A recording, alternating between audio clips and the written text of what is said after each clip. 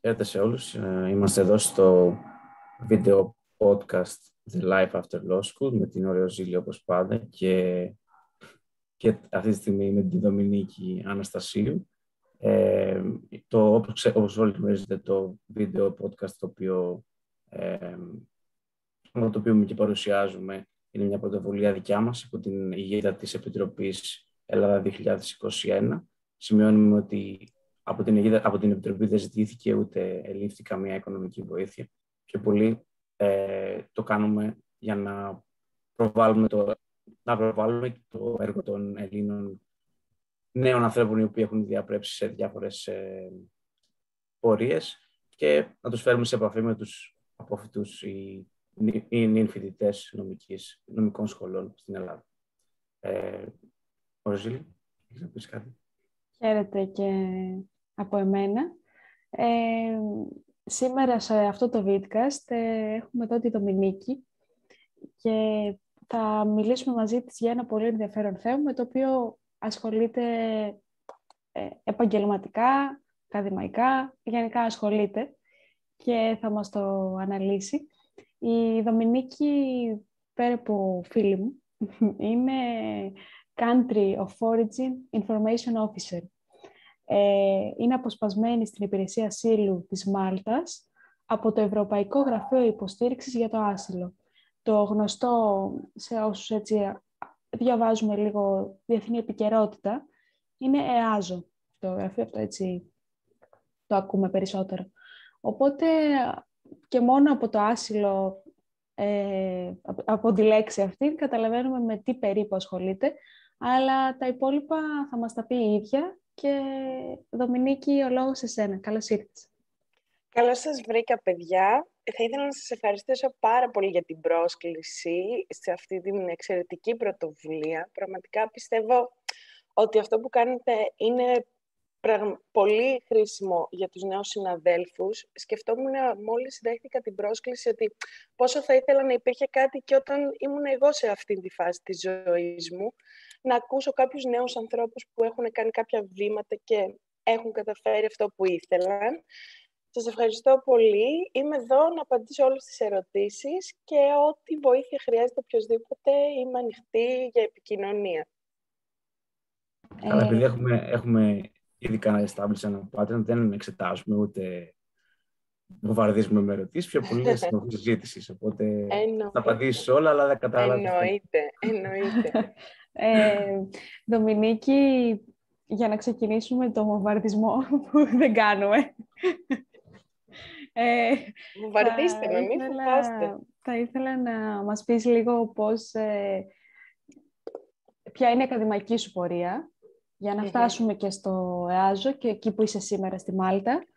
Και μετά θα πάμε να κάνουμε τη σύνδεση. Ε, λοιπόν, εγώ μετά τη νομική, ε, να σας πω ότι στη νομική προσπαθούσα πάντα να είμαι σχετικά μια καλή φοιτήτρια. Ε, όχι πάντα με επιτυχία, αλλά κατάφερα το στόχο μου, ο οποίος ήταν να βγάλω 7,5. Ε, και οπότε μετά συνέχισα μαζί, ταυτόχρονα με την πρακτική άσκηση, έκανα ένα μεταπτυχιακό στο Δημοκρίτιο Πανεπιστήμιο της Θράκης, στο Δημόσιο Δίκαιο και τις Πολιτικές Επιστήμες. Εγώ προς, ε, προτίμησα ως ε, μάθημα εξειδίκευσής μου το διοικητικό δίκαιο και είχα κάνει για την διπλωματική μου, ε, το θέμα είχα ασχοληθεί με την, απέλαση των, με την προσωρινή προστασία των αλλοδαπών από την απέλαση κατά το Ευρωπαϊκό Δικαστήριο των Ανθρωπίνων Δικαιωμάτων και την Εθνική Νομολογία. Ωστόσο, να πω σε αυτό το σημείο ότι ακόμα σε εκείνη τη φάση της ζωής μου δεν είχε ξεκαθαρίσει πάρα πολύ το τοπίο με το τι θα ασχοληθώ. Εγώ μέσα μου ήξερα ε, διάφοροι εξωτερικοί παράγοντες δεν με άφηνε. Ε, οπότε τότε εργαζόμουν σε ένα γραφείο από τα καλύτερα της Θεσσαλονίκης για το φορολογικό δίκαιο.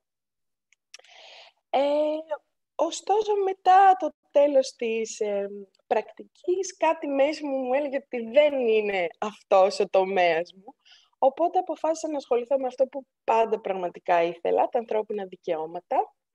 Και έκανα ε, ένα Advanced Master στην Ολλανδία, στο Leiden, στα European International Human Rights Law.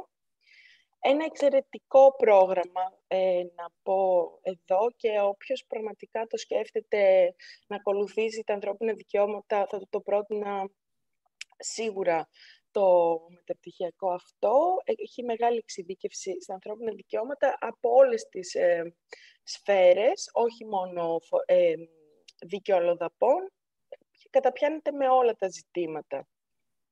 Ε, δηλαδή με ασφάλεια, με δικαιώματα γυναικών, δικαιώματα των παιδιών ε, και φυσικά έχει προσεγγίζει κάπως και λίγο πιο γενικά τα ευρωπαϊκά ε, ατομικά δικαιώματα και τα, κατά τα διεθνή πρότυπα. Ε, και μετά την αποφύτισή μου από το LIDE, έκανα πρακτική άσκηση, ήμουν πάρα πολύ τυχερή, έκανα πρακτική άσκηση στο γραφείο του Επιτρόπου της ε, Μετανάστευσης, του Ευρωπαίου Επιτρόπου για τη Μετανάστευση ε, στον κύριο Αβραμόπουλο, το, στην, στην πενταετία, έτυχε στην πενταετία ε, που ήταν Ευρωπαίος Επίτροπος και μάλιστα με, το 2016 όπου τα ζητήματα μετανάστευσης ήταν στο peak τους. Ε, εκεί μπορώ να πω ότι ήταν μια φανταστική εμπειρία ζωής. Ε, γι' αυτό και θα, ε, θα πρότρεπα όλα τα παιδιά να το προσπαθήσουν να κάνουν άσκηση στα όργανα. Ε, αυτό, αυτά τα πράγματα που βλέπεις και μαθαίνεις εκεί πέρα είναι ε, one of a kind. Δεν θα το ξαναδείς ποτέ μέσα από τα όργανα λήψης αποφάσεων. Ε, και έπειτα ήταν η επιστροφή στην Ελλάδα μετά από εκεί. Δεν ξέρω, θέλετε να συνεχίσω; Ε... Να σημείο να κάνω ότι μια και, το ανέφερε η Δομινίκη ότι έκανε το αρχιακό στην Ολλανδία και έκανε το advanced. Δηλαδή και εγώ έκανα το advanced ε, σε, σε άλλο πεδίο, αλλά πάλι advanced ήταν. Ε, πολλοί δεν ξέρουν, αλλά υπάρχουν, το καταλαβαίνουν όταν πάνε να επιλέξουν δηλαδή. Υπάρχει το advanced και το ένα πιο light, ας το πει, όχι light, είναι διαφορετική γραμμή παραγωγής. Διαφορετική γραμμή ναι. παραγωγής. Ε, και τα advanced είναι, πιστεύω, μια καλύτερη επένδυση από άποψη γνώσεων και όχι μόνο μιας, ενός μεταπτυχιακού διπλώματος που παίρνεις. Γιατί τα υπόλοιπα είναι πολλά παράπονα ακούγονται για την Ολλανδία ότι απλά κάνουμε τα ίδια μαθήματα που κάναμε στη σχολή στα αγγλικά. Ισχύει. Δεν μαθαίνουμε κάτι. Τα advanced μεταπτυχιακά στην Ολλανδία όντως εντρυφούν πάνω στο αντικείμενο στο οποίο ε, προσπαθούν να εξειδικεύσουν. Τα υπόλοιπα ε. είναι λίγο... Ε, προσπαθούν να, να, να, να συνδυάσουν ή τουλάχιστον να βάλουν στην ίδια ζυγαριά ένα όνομα ενός πανεπιστημίου με κάποια παροχή γνώση. Αν ε, θέλετε εδώ πέρα και, το, και τη δικιά μου γνώμη, πραγματικά στο, στο Advanced Master, αν κάποιος το σκέφτεται, αποκτάς ε, πλήρη εξειδίκευση στο αντικείμενο που θα ασχοληθείς και επίσης όμως πρέπει να είσαι και προετοιμασμένος ότι ένα χρόνο τη ζωή σου θα κάνεις μόνο αυτό. Εγώ ήμουν στο Λάιντεν και είδα, την Ολλανδί... και είδα το Άμστερνταμ μετά το πέρας των σπουδών μου. Ε, είναι πολύ εντατικό πρόγραμμα. Καλό. Καλό αυτό, νομίζω. Δηλαδή, είναι πολύ καλό το ότι δεν είναι θεωρητικό, είναι εντατικό και δεν σε αφήνει χρόνο να ανασάνεις, αλλά μαθαίνεις, είναι ότι άλλο θέλεις από το μεταπτυχιακό. Όχι, και εδώ έρχομαι και σε αυτό το σημείο που νομίζω θα το αγγίξουμε και αργότερα. Ε, για μένα αυτό θα ήταν και κάτι που θα ήθελα και για τα ελληνικά πανεπιστήμια. Να, ίσως επειδή στην ηλικία που είμαστε φοιτητές δεν είμαστε όλοι τόσο όριμοι. Ίσως θα ήταν μια ιδέα κάπως να σε εξαναγκάζει το ίδιο το πανεπιστήμιο να ασχοληθείς με την επιστήμη σου, αν δεν το κάνεις από μόνος σου. Δηλαδή, υποχρεωτικές εργασίες, ναι. ίσως είναι μια καλή σκέψη. Εννοείς το προπτυχιακό, γιατί στο μεταπτυχιακό γίνονται.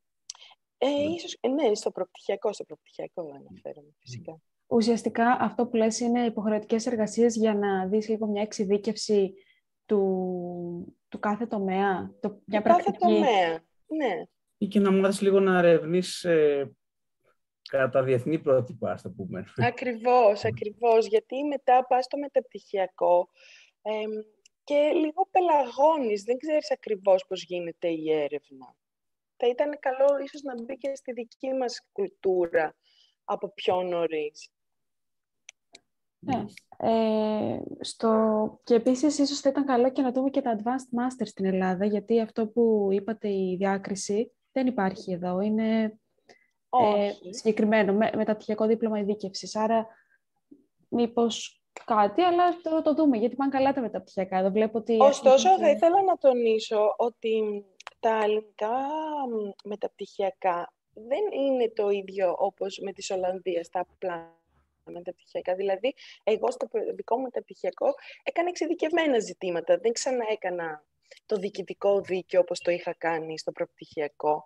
Οπότε, για να πενέσουμε και λίγο το σπίτι μας, ε, θεωρώ ότι σε αυτό προσπαθούν πάρα πολύ.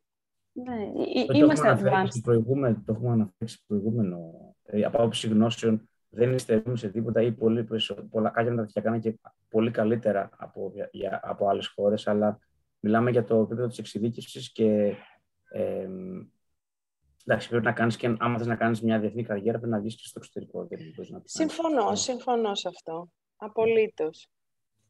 Ε, άμα... Συγγνώμη, Δομινίκη, ναι. Όχι, όχι. Ήθελα να πω ότι πραγματικά αν θέλεις να, να δραστηριοποιηθεί στο εξωτερικό, θεωρώ ότι ένα μεταπτυχιακό στο εξωτερικό θα σου δώσει μεγαλύτερες πιθανότητες για να λέμε τα πράγματα όπως είναι.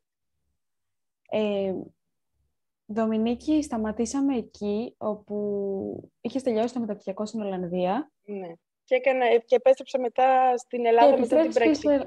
Έτσι, που και ναι, ε, σήμερα είσαι Μάλτα, οπότε να κάνουμε τη σύνδεση. Σήμερα είμαι και στη Μάλτα. Ε, λοιπόν, θα σας πω, εκείνη την εποχή, όπως θυμάστε όλοι, ήταν το 2017. Εγώ, ε, η, η μεταναστευτική κρίση, ας το πούμε έτσι, αν και δεν συμφωνώ πάρα πολύ με τον όρο κρίση, ε, ήταν στο έπακρό της, οπότε θεώρησα ότι ναι, μεν είχα πάρει πάρα πολύ πληροφορία από τα ευρωπαϊκά όργανα ως προς τον τρόπο διαχείρισης, αλλά ήθελα να ζήσω και λίγο την εμπειρία του πεδίου. Γιατί θεωρώ ότι όσοι ασχολούνται με το μεταναστευτικό, έστω και από μια πιο γραφειοκρατική άποψη, πρέπει να έχουν ε, ζήσει την εμπειρία του πεδίου για να γνωρίζουν όλα τα θέματα που μπορούν να προκύπτουν στην πράξη. Οπότε εκείνη την εποχή επέστρεψα στην Ελλάδα και όχι απλά στην Ελλάδα. Πήγα στην ε, Λέσβο, στη Μόρια, δούλευα στο κάμπ στη Μόρια ως δικηγόρος με την ε, ε μη κερδοσκοπική οργάνωση μετάδραση. Ε, και εκεί πέρα ε, ζούσαμε όλη τη ζωή του δικηγόρου, ωστόσο στο κάμπ Προσπαθούσαμε να βοηθούμε τους ετούντες άσυλο κατά, ε, κατά τη διαδικασία της συνέντευξης και κατά τη διαδικασία της έφεσης ε, μετέπειτα. Ε, και να παρέχουμε και όποια άλλη βοήθεια μπορούσαμε γενικά. Όταν είσαι στο πεδίο δεν είσαι απλά δικηγόρος, είσαι και λίγο ψυχολόγος, είσαι και κοινωνικός λειτουργός, βοηθάμε τις ε, υπηρεσίες, τις δημόσιες υπηρεσίες. Ε, ήταν μια πάρα πολύ έντονη εμπειρία αυτό το πράγμα. Θα ε, εκεί για Δομινίκη. Ήμουνα, ε, αυτό πήγα να πω τώρα, ωστόσο εγώ δεν έμεινα πάρα πολύ καιρό, έμεινα δύο μήνες, γιατί ενώ ήμουν στις Βρυξέλλες είχα ήδη κάνει μία αίτηση για το ΕΑΖΟ στην Ελλάδα. Οπότε μετά από δύο μήνες ε, ειδοποιήθηκα από το ΕΑΖΟ ότι με θέλουν ως ε, legal rapporteur λεγόταν η δουλειά μου προηγούμενη για την υπηρεσία ε, στην οποία γίνονται οι προσφυγές ε, για τις ε, πρωτοβάθμιες αποφάσεις, απορριπτικές αποφάσεις των ετούντων άσυλων. Στην Ελλάδα αυτή λέγεται αρχή προσφυγών, ξέρετε, αρχή προσφυγών. Εκεί πέρα ο ρόλος μου ουσιαστικά ήταν να, βοηθ... να επικουρώ τους δικαστές στο έργο τους, ε, καταγράφοντας σε, πρώτη φάση τα πραγματικά περιστατικά κάθε υπόθεσης και μετά στη συνέχεια ε, επ' αυτών των περιστατικών εγώ έκανα την αντίστοιχη έρευνα για, τις, ε, για την κατάσταση στη χώρα προέλευσης των, του, κάθε, του κάθε τούντος, ε, του κάθε προσφεύγοντος μάλλον για να μιλάμε σωστά νομικά. Ε, οπότε αυτός ήταν ο ρόλος μου εκεί. Ε, και είχαμε άμεση συνεργασία ουσιαστικά με τους δικαστές και με τους ε, δημόσιους υπαλλήλους της Ανεξάρτητης Αρχής Προσφυγών. Ωστόσο, και πάλι ήμουν αποσπασμένη από το ΕΑΖΟ. Άρα ήσουν από την άλλη πλευρά, Δομινίκη, δηλαδή τη μία ήσουν με την πλευρά αυτού που έκανε την αίτηση και μετά έβλεπες μια ε. αίτηση που είχε απορριφθεί ενδεχομένως και είχε προσφύγει κατά της απόρριψης ο ε, ετών ε, άσυλο.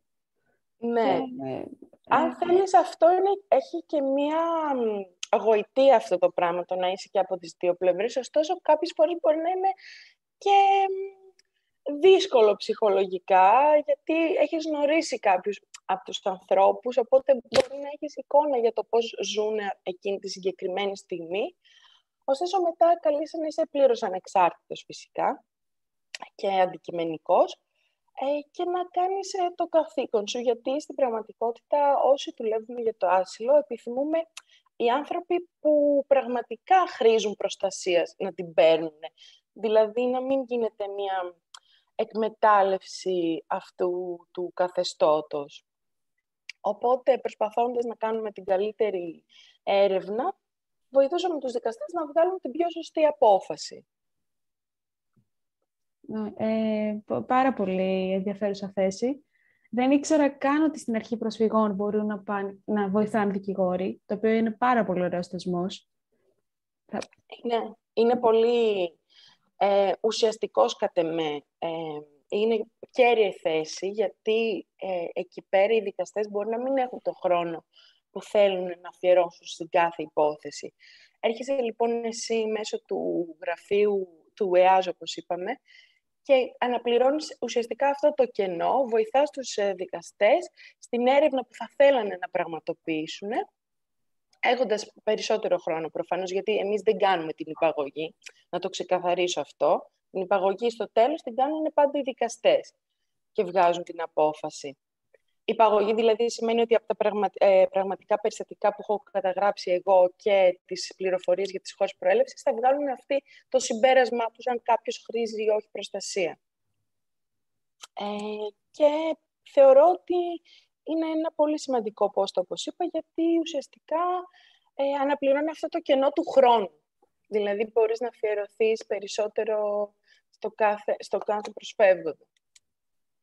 Ε, για να το πάμε λίγο ένα βήμα πίσω, αυτό, ας πούμε, όλο αυτό το περίμενες ενώ ήσουν φοιτήτρια μέσα στο πανεπιστήμιο θα το κάνεις; Δηλαδή, είχε κάποια ρεθίσματα, κάτι που ένα μάθημα το οποίο σε ενέπνευσε να δεις ότι ίσως αυτό να με ενδιαφέρει περισσότερο; Ε, θα σου πω, Αδάμ. Εγώ ήμουν από τους τυχερούς ανθρώπους που ήξερα πάρα πολύ καλά από την αρχή γιατί μπήκα στην νομική. Ήθελα να ασχοληθώ με τα ανθρώπινα δικαιώματα. Ωστόσο τότε, όταν μπήκα εγώ, δεν ήταν και τόσο, ας πούμε, της μόδας, ας το πούμε έτσι. Οπότε, ε, κάποιοι ακόμα και καθηγητές μου λέγανε ναι, το ακούω, ε, να ασχοληθείς ωστόσο με το συνταγματικό που περιέχει τα ατομικά δικαιώματα. Ε, οπότε τότε μπορώ να πω ότι... Ε, γιατί είχα πάει με αυτή την προοπτική, δηλαδή ήθελα να τελειώσω τη σχολή για να ασχοληθώ με αυτό και είχα ερωτήσει τους καθηγητές μου ε, με ποια μαθήματα, ίσως, σε ποια μαθήματα ίσως θα πρέπει να δώσω βάση.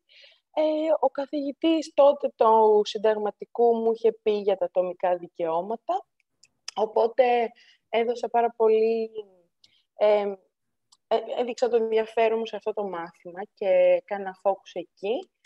Αλλά το μάθημα ουσιαστικά που μπορώ να πω που με ενέπνευσε πιο πολύ ήταν στο τέταρτο έτος. Είχαμε ένα μάθημα επιλογής για τα ανθρώπινα δικαιώματα που τα προσέγγιζε και από, ευρωπαϊκό, από ευρωπαϊκή άποψη. Οπότε εκεί αποκρισταλώθηκε το ενδιαφέρον μου, ας πούμε, ε, και η θέλησή μου. Το συζητούσαμε και με την Ιωάννα σε προηγούμενο βίντεο podcast, ότι για κάποιο λόγο στις νομικές σχολές της Ελλάδας τα ανθρώπινα δικαιώματα χωρίζονται, ε, είναι τα μαθήματα που τα χωρίζουν σε διεθνή και τα συνταγματικά και δεν, δεν κάνουν απαραίτητα και δυσύνες, δεν κάνουν ένα διαδραστικό μάθημα, γιατί αναφέρονται στην ΕΣΔΑ πολύ απομακρυσμένα ε, στο ναι. συνταγματικό και μετά σε βομβαρδίζουν με την ΕΣΔΑ μόνο στα διεθνή. Μόνο στα και δεν υπάρχει σύνδεση και δεν εσύ δεν μπορείς να, να, το δεις ολοκληρωμένα. Ε, εντάξει, άμα θες να κάνεις την έρευνα, την κάνεις και καταλαβαίνεις. Συμφωνώ απόλυτα σε αυτό. Ε, να σου πω, δεν γνωρίζω πώς έχει εξελιχθεί το μάθημα μετά που έχω αποφυτίσει εγώ, γιατί εγώ έχω αποφυτίσει από το 2012. Ε, ωστόσο και εμάς, ναι, ήταν αυτός ο διαχωρισμός που σε δίχαζε και εσένα, γιατί έλεγες, ωραία, θα, θα αφιερωθώ στο δημόσιο, μετά όμως έπρεπε να το δεις και από τη διεθνή πλευρά. Ίσως θα ήταν ενδιαφέρον ε, ένα μάθημα που θα μπορούσε να συγκεράνει τα, τις δύο απόψεις και τις δύο προσεγγίσεις.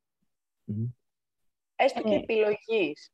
Και επειδή... τώρα, ναι. να το πάρω εγώ. Και τώρα βρίσκεσαι στην Μάλτα. Πώς έγινε αυτή η μετάβαση; Δηλαδή, τώρα... θέλω να απαντήσεις για, για ποιο λόγο επέλεξες το εξωτερικό ξανά, αντί της Ελλάδας. Λοιπόν, ε, οι λόγοι είναι δύο.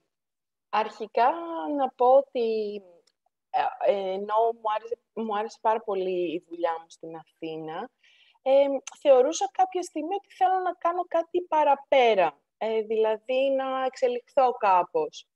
Οπότε, επειδή τα κεντρικά γραφεία του ΕΑΖΟ είναι στη Μάλτα, ε, είναι ένας ε, τρόπος να, να έρθεις λίγο πιο κοντά στο όνειρο. και βρήκα οπότε μια δουλειά, αρχικά έκανα μια, πριν το προηγούμενο εξάμεινο δούλευα ως case worker. Αυτό σημαίνει χειριστής υπόθεση, υποθέσεως ε, στα ελληνικά. Ήμουνα δηλαδή στον πρώτο, έβγαζα τις πρωτοβάθμιες αποφάσεις ε, για τους ετούντες άσυλο. Ε, μισό λεπτό. Ε, ναι, ναι, ναι, Έβγαζες πρωτοβάθμιες αποφάσεις εννοείς ε, ετούντων άσυλο πού, στην Ελλάδα; Στη Μάλτα, στη Μάλτα. Στη Μάλτα. Στη Μάλτα. Ωραία. Θα επανέλθω σε αυτό λίγο να πω το δεύτερο λόγο. Ωραία. Ο δεύτερος λόγος ήταν προσωπικός λόγος, οπότε κάπως στέριαξαν και τα δύο, προσωπική στόχη και προσωπική ζωή μαζί. Αυτό. Ε, πρόκειται για προαγωγή, ας το πούμε, να... Όχι, προ... όχι, όχι, δεν θέλω να το πω προαγωγή. Ήταν ουσιαστικά αλλαγή θέσεως. Ωστόσο, ήταν λίγο πιο κοντά σε αυτό που ήθελα να κάνω. Η δουλειά τώρα που κάνω είναι αυτό που ονειρευόμουν από πριν να κάνω.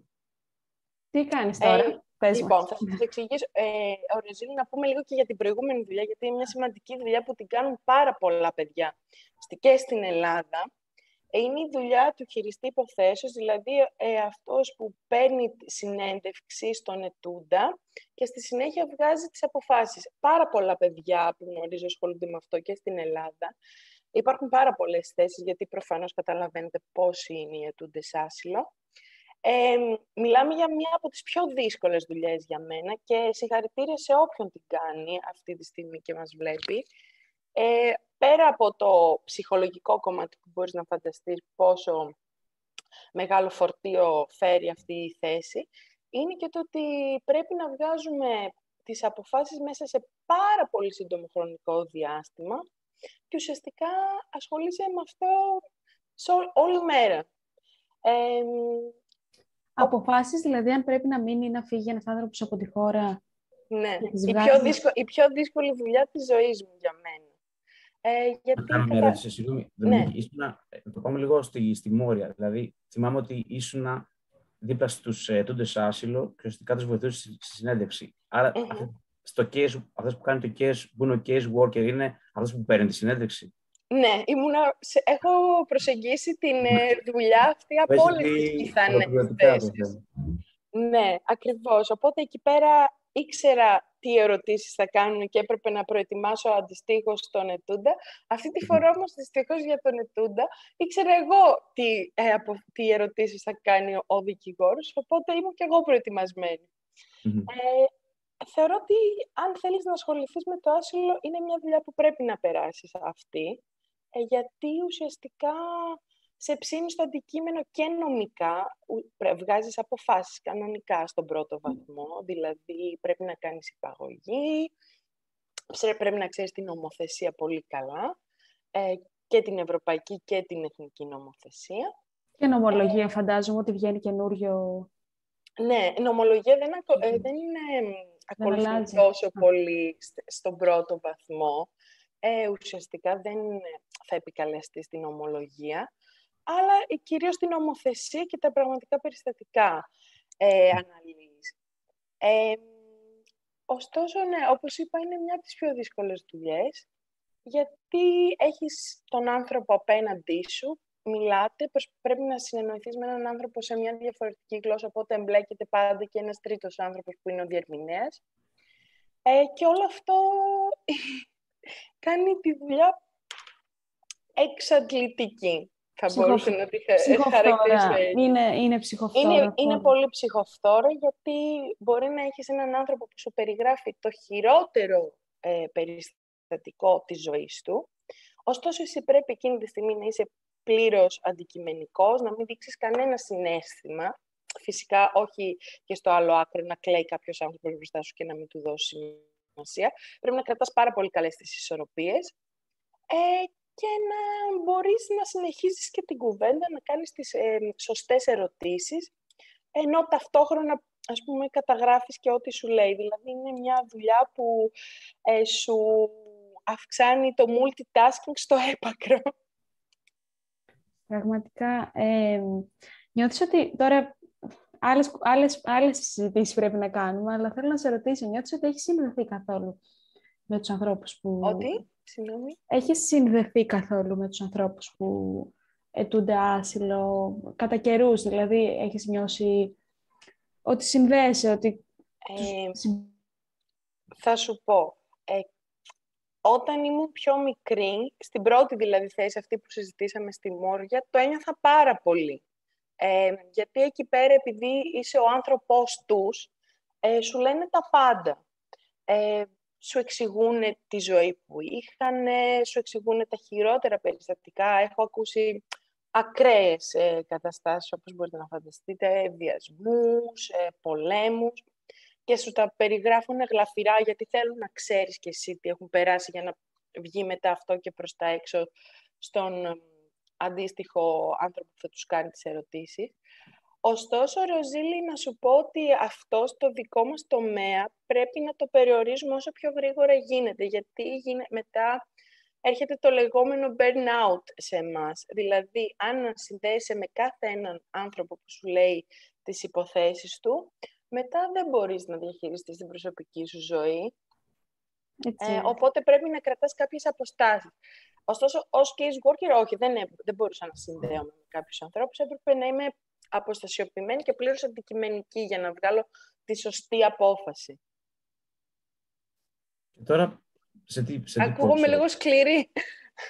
Όχι, όχι, έτσι είναι και ο δικηγόρος. Δηλαδή τώρα, όταν όπως έκλεισες, σκεφτόμουν ότι έτσι είναι όλοι οι δικηγόροι. Έτσι πρέπει ναι, να είμαστε. Έτσι. Δηλαδή, λες ότι δεν μπορείς να συνδέσει με όλες τις υποθέσεις σου, γιατί μετά, αν κάθε φάκελος ήταν προσωπικός φάκελος, ε, δεν θα, θα κλαίγαμε.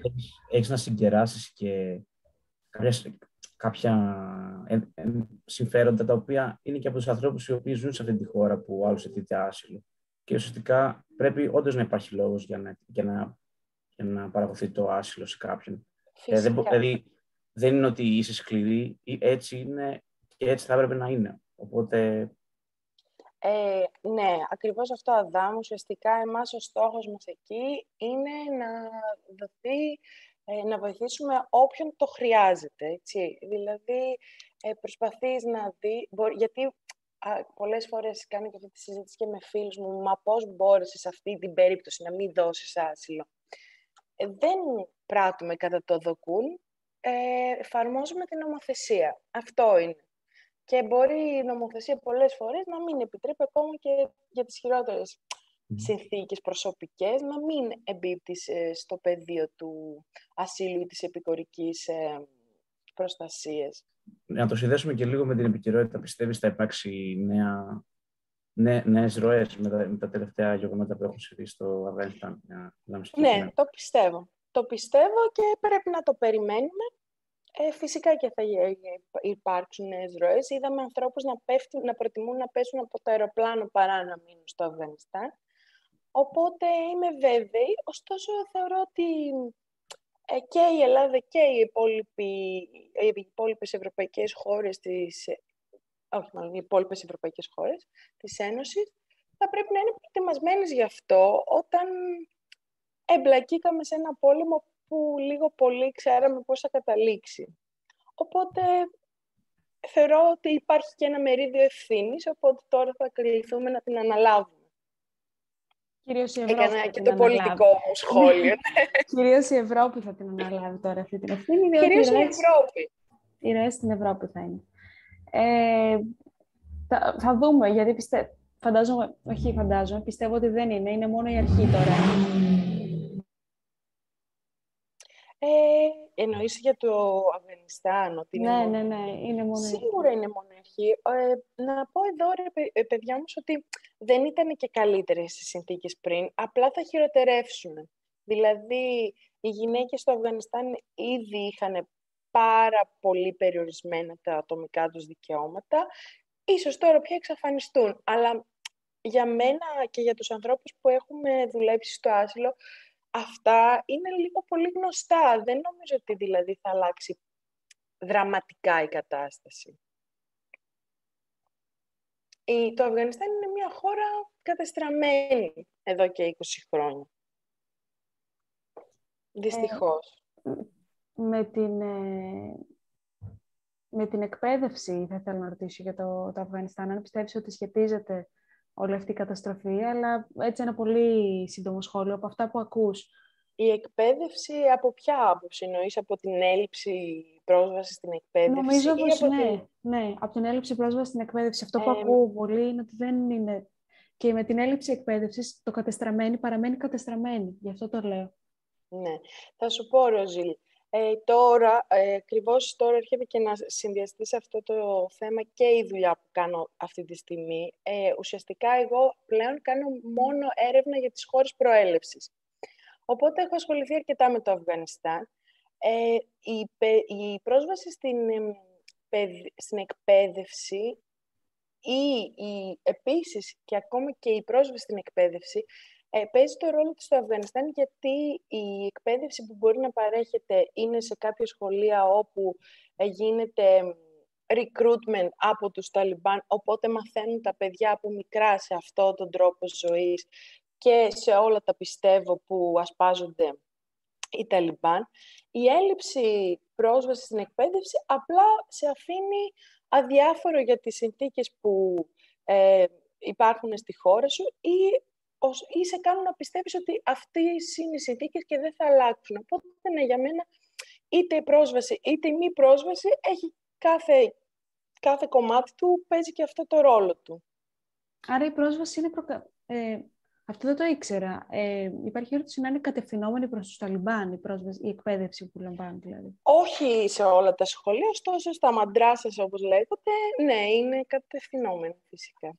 Γι' αυτό εξηγεί και κάποια δημοσιεύματα το ότι ο αντρικό πληθυσμός, ας πούμε, δεν, δεν, δεν προέβαλε κάποια αντίσταση στην εκπαίδευση. Δηλαδή, ουσιαστικά τους αποδέχτηκαν σαν. Ε, όχι ελευθερωτές, ε, αλλά. Κοίταξε να δεις. Τους αποδέχτηκαν. Τώρα, εντάξει, βέβαια μπαίνουμε σε βαθιά νερά.